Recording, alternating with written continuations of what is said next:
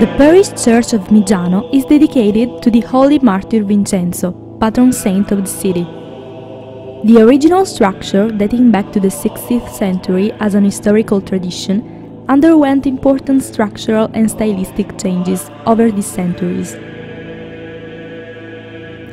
Today the facade appears sober and austere. It is marked by the three entrances and the three niches that preserve the stone status of the holy apostles Peter and Paul and the effigy of Saint Vincent, which overlooks the monumental main door.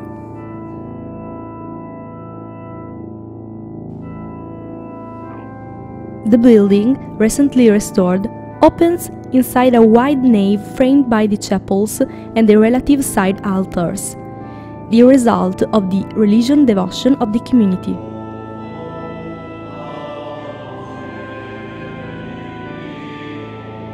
Precious is the canvas attributed to the painter from Nardò, Antonio Donato d'Orlando, dated 1616. At the center of the scene, there is the patron saint, Vincenzo, who receives the crown and palm from the sky. At the bottom, on the sides, some hagiographic events are reported, such as the representation of the martyrdom on the grid. At the bottom of the painting, the processional statue of the saint is preserved, protected in the niche that bears the civic coat of arms of the University of Miggiano, which can still be found in the banner of the municipality, an apple tree.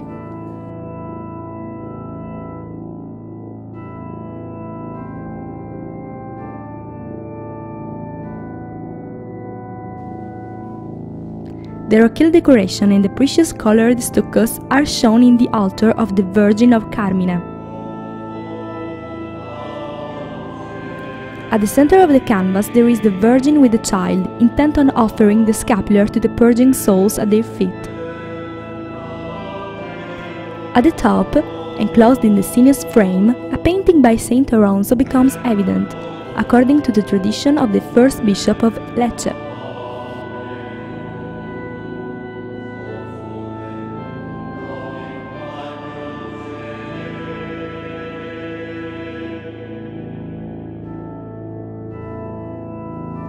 A few steps from the mother church, characteristic is the cave of the Embrance that houses the headquarters of Mumig, a museum that collects artifacts and liturgical clothes that tell the story from the mother church of Miggiano.